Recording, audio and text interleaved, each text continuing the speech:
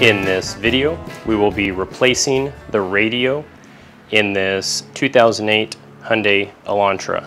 For this repair, I purchased a trim removal toolkit from Amazon.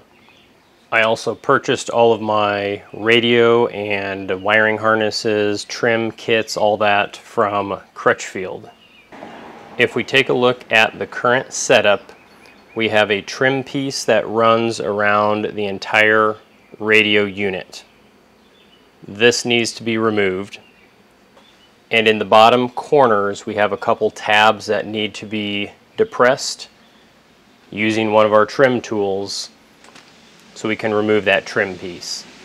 On the passenger side, we want to be careful because we have a soft dash material.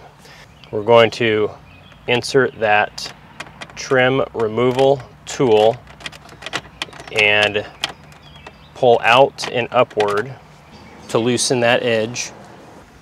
And if we slide that tool down just a little bit, applying just a little bit of pressure and work that down, we can pop the driver side out and then the rest of the face.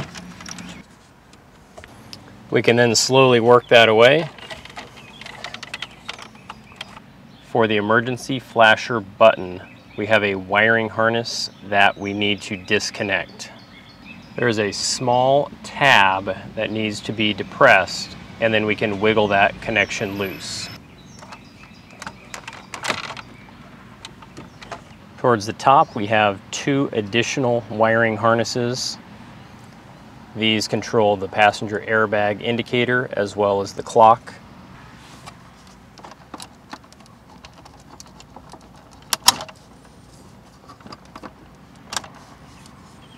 We can then remove that trim piece. So what we are left with is our radio unit it has four screw locations, although there are only actually three screws installed. And using a Phillips head screwdriver, we can remove those screws and gently pull out the radio.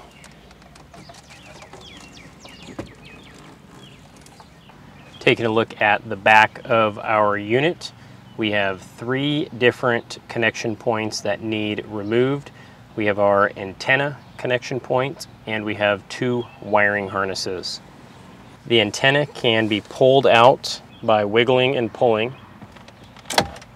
And both of our wiring harnesses have small tabs on top which need to be depressed as we wiggle and pull the connection point.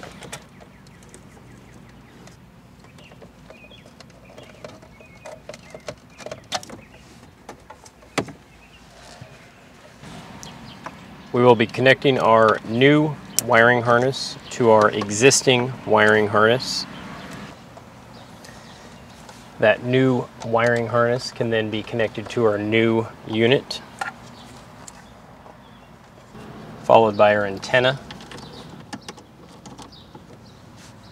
And then we can slide that assembly in place and install our hold down screws.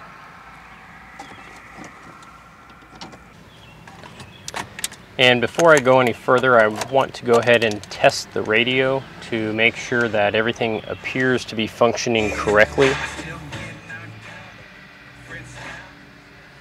So everything seems to be working as it should at this point. So we will go ahead and install our trim piece. We will make sure we connect our three wiring harnesses first before attaching that trim piece. And we want to make sure everything gets seated properly. And at this point, everything is looking pretty good. We'll go ahead and remove the stickers and test out the CD player and any other functionality of the radio just to verify that it is working properly. But everything looks pretty good.